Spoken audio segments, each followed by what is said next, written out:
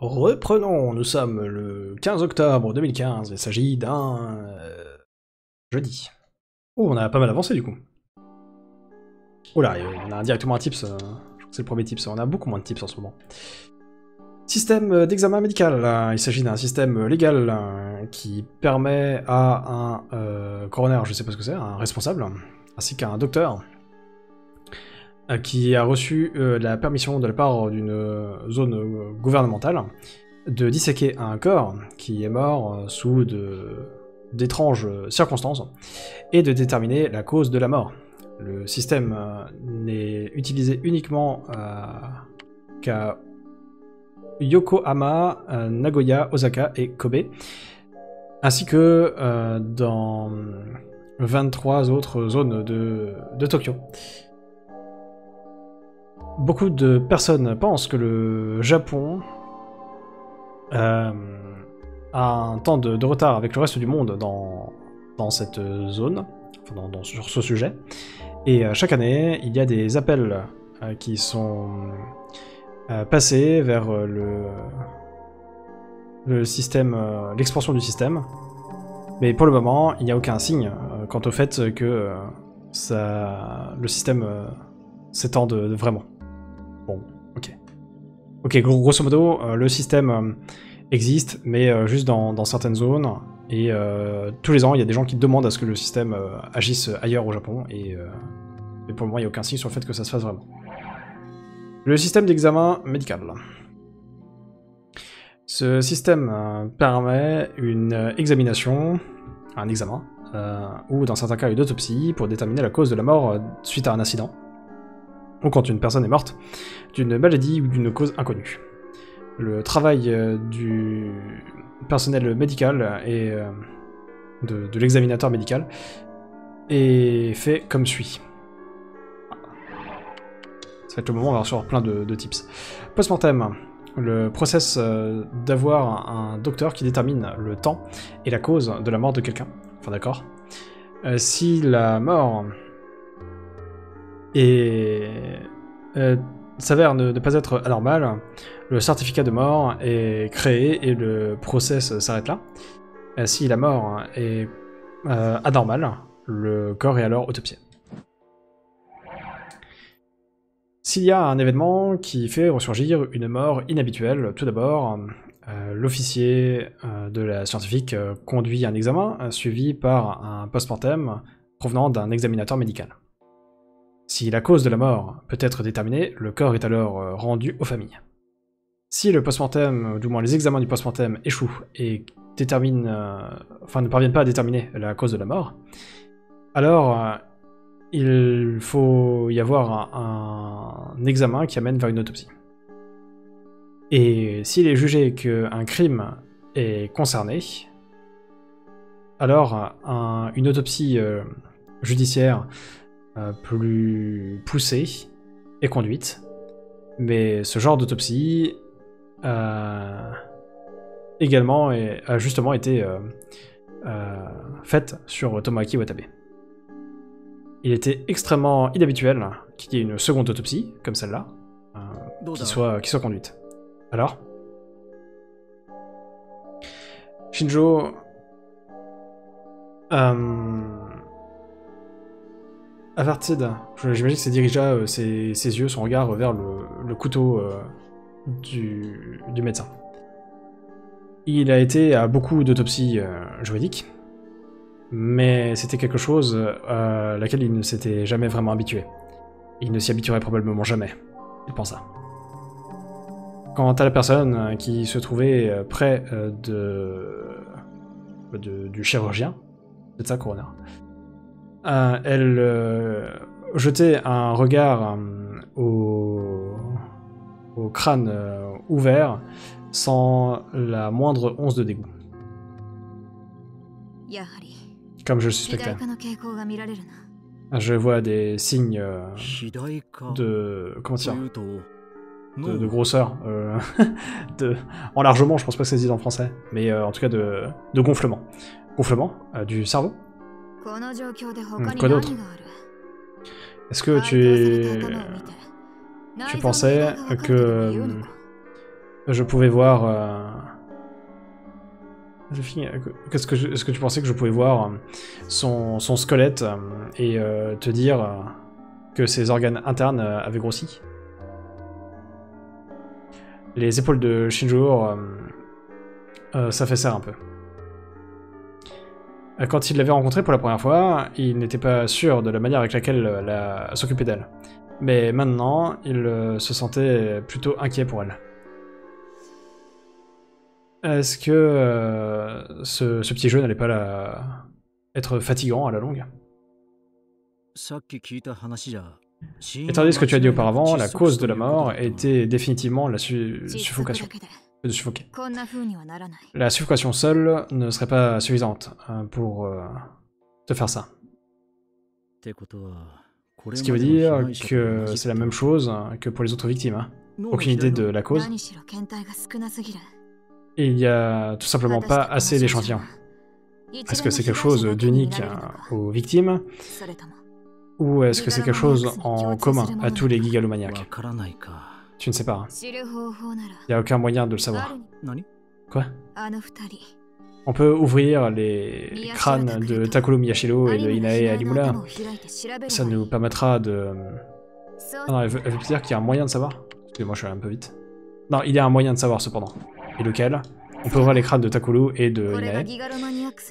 Ça nous permettra de savoir si, oui ou non, euh, quelque... c'est quelque chose qui euh, tous les gigalomaniacs ont en commun. Ne sois pas stupide, on peut pas faire ça. Je plaisante. Ah, nous avons des scans CRT et MRI maintenant. Il n'y a pas besoin d'ouvrir leur squelette. Quoi Est-ce que c'est si, Est -ce si, surprenant que je puisse faire une blague Non. Euh... Shinjo pensa à lui-même euh, qu'elle ne blaguait probablement pas. Elle n'aimait pas les gigalomaniacs, elle les détestait. Et du plus profond de son cœur.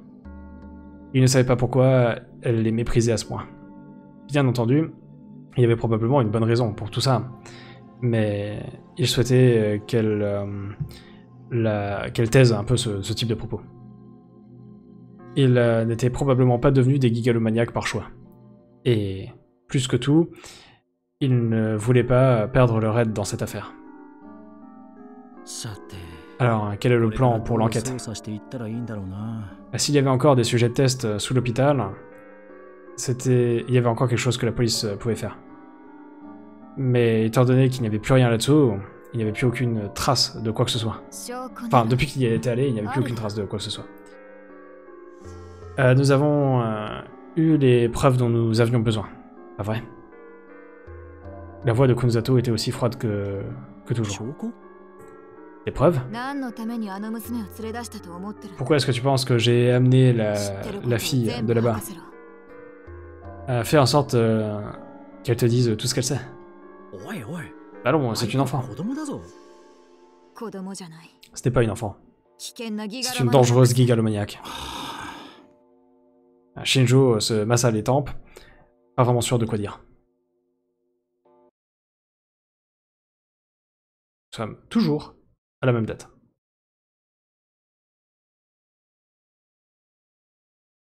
Bon, je me perds un peu plus hein, dans la lecture vu qu'on est sur la fin de la session. Quasiment après. Euh, on a passé 3h45 déjà de lecture. je, fatigue. C'est normal. La Trustworthiness Investigation Corporation Frisia, donc la, Frisia, hein, donc la société d'enquête euh, digne de confiance. Katsuko Momose était assise euh, à la pièce de, réception, euh, dans un coin plein de fourbis de son bureau, et soupirait alors euh, qu'elle passait sa main dans ses cheveux. Avec la gamine, c'est ça? Ouais. S'il vous plaît, laissez-moi rentrer. S'il vous plaît, laissez-moi rentrer.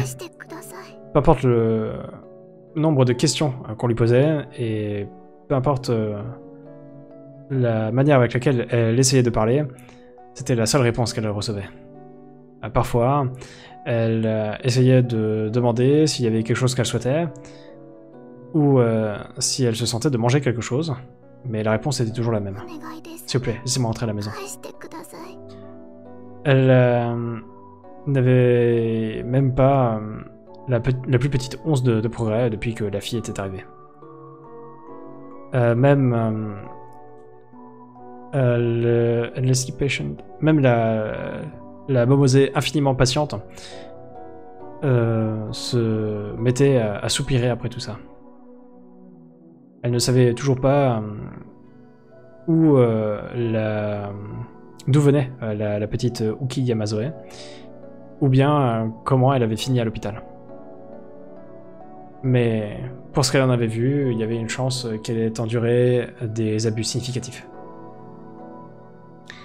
Et alors qu'elle avait été soudainement euh, secourue de ces derniers, et mise dans un et ensuite elle avait été secourue de ces derniers et mise dans un environnement complètement différent.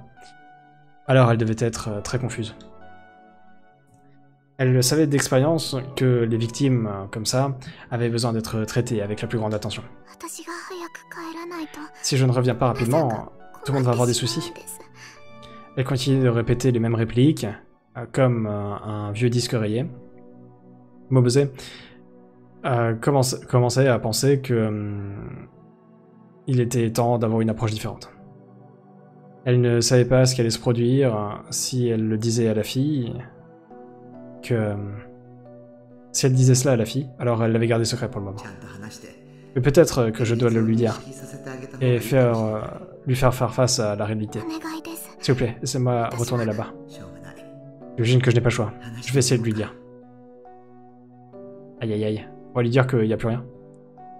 Une fois qu'elle prit sa décision, elle ne passa pas de temps à y accorder une seconde pensée. C'était à la fois un avantage et un désavantage. Écoute, Oki. Oui. Si tu veux vraiment y retourner, je peux te dire quelque chose. Hmm? Vous allez me laisser y retourner? Merci. Écoute-moi. Euh, peu importe euh, à quel point tu souhaites y retourner, c'est impossible maintenant. Impossible Parce que cet endroit dans lequel tu étais, l'endroit sous l'hôpital, il est parti maintenant. Mamose était soulagé de finalement voir le choc sur le visage de Uki. Bien.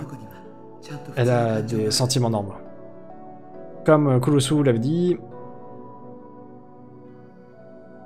il n'avait fait aucune euh, opération sur elle qui puisse détruire sa capacité à euh, ressentir des émotions. Excusez-moi, je bug parce que Kurusu, encore une fois, alors je veux bien croire que ce soit encore une coquille et que euh, on parle de Kunosato, mais ça fait quand même deux fois là. Donc soit il euh, y a un problème, soit il y a un problème quelque part au niveau du texte, et euh, il va falloir qu'on fasse gaffe, soit, soit Kurusu a communiqué avec Shinjo et, et Momose, pour dire des choses qu'elle n'est pas censée savoir maintenant, ou alors euh, qu'elle venait de savoir de, de Taco. Bref, c'est bizarre. Euh, gardons ça de côté, pour le moment. Mais euh, c'est vraiment étrange.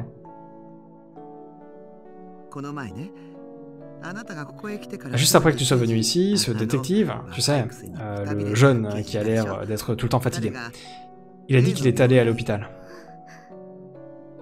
La fille écoutait simplement Momose parler, ses yeux vides. Momose continua de parler, la regardant avec attention. Et il est entré dans la salle d'autopsie, c'est ça? Et ensuite il est allé dans le souterrain, là où tu étais.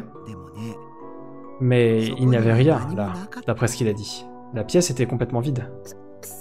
Mais où est-ce que tout le monde est parti? Et les gens qui étaient là? Il a dit qu'il n'y avait personne. Personne? Oki avait l'air d'essayer de faire de son mieux pour comprendre ce que Momose lui disait. Et alors? Tu mens. Tu mens, tu mens. Pourquoi est-ce que je mentirais? C'est la vérité. Mais...